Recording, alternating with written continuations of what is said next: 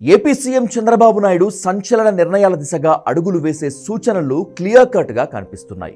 Government పాలనపై సీరియస్గా ఉన్న చంద్రబాబు నాయుడు ఎప్పుడు ఏం చేస్తారో అనే ఆందోళన అధికారులతో పాటుగా ఎమ్మెల్యేల్లో కూడా కనిపిస్తుంది. చంద్రబాబు ఇటీవలి కాలంలో తీసుకునే నిర్ణయాలు కూడా కాస్త సెన్సేషనల్ గానే ఉంటున్నాయి. ఎమ్మెల్యే కోనేటి ఆదిమూలం వీడియో బయటకు రాగానే ఆయన్ను సస్పెండ్ చేసేశారు చంద్రబాబు. త్వరలోనే మరికొందరిని సస్పెండ్ చేసే అవకాశం ఉందనే వార్త ఇప్పుడు తెలుగుదేశం పార్టీ క్యాడర్ నుంచి ఎమ్మెల్యేల వరకు అందరికీ చెమటలు పట్టిస్తోంది. గుజరాత్ టూర్లో ఉన్న చంద్రబాబు నాయుడు అనంతరం రాష్ట్రానికి వచ్చి రెండు రోజుల్లో ఎమ్మెల్యేలతో సమావేశం అవుతారు ఈ సమావేశంలో ప్రభుత్వ పాలనపై ప్రజాప్రతినిధుల రివ్యూలు అడుగుతారు. ఇక ఎమ్మెల్యేల పనితీరుని కూడా అందరి ముందు చంద్రబాబు ప్రస్తావిస్తారు. కొందరు ఎమ్మెల్యేల తీరుపై తీవ్ర ఆగ్రహంతో ఉన్న సీఎం చంద్రబాబు వారిపై నివేదికలను తెప్పించుకున్నారు. రాయలసీమ జిల్లాకు చెందిన ఓ ఎమ్మెల్యే ఉత్తరాంధ్రకు చెందిన ఓ ఎమ్మెల్యేతో పాటుగా గుంటూరు జిల్లాకు చెందినటువంటి ఓ ఎమ్మెల్యేపై బాబు సీరియస్గా ఉన్నారు. ఆ మహిళా ఎమ్మెల్యే భర్త తీరుపై చంద్రబాబు నాయుడుకు ఫిర్యాదులు వెల్లువెత్తాయి.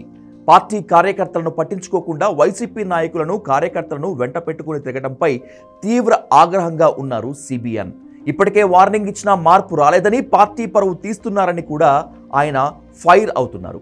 అవసరమైతే సస్పెన్షన్ వేటు వేయటానికి కూడా వెనకడుగు వేయటం లేదు. ముగ్గురు ఎమ్మెల్యేల తీరుపై చంద్రబాబు కఠినంగానే వ్యవహరించే అవకాశం ఉందనేటువంటి వార్తలు ఇప్పుడు అంతటా గుప్పుమంటున్నాయి. ఇక నామినేటెడ్ పదవుల విషయంలో కూడా రెండు రోజుల్లో స్పష్టత రానుంది. రేపు లేదా ఎల్లుండి నామినేటెడ్ పదవులను భర్తీ చేసే అవకాశం ఉందని అంటున్నారు. ఇప్పటికే నామినేటెడ్ పదవుల ప్రక్రియ పూర్తి అయింది. మొదటగా పద్దెనిమిది కార్పొరేషన్ చైర్మన్ల పేర్లు విడుదల చేసే అవకాశం ఉందని ప్రభుత్వ వర్గాలు అంటున్నాయి. మిగిలిన నామినేటెడ్ పదవులు అన్ని దసరాలోపు పూర్తి చేస్తారు. ఇక వైసీపీ నేతలతో స్నేహం చేసే నేతలకు సంబంధించిన నివేదికను కూడా సిద్ధం చేసుకున్నారు చంద్రబాబు. వాళ్ళందరికీ త్వరలోనే షాకులు ఇవ్వనున్నారు.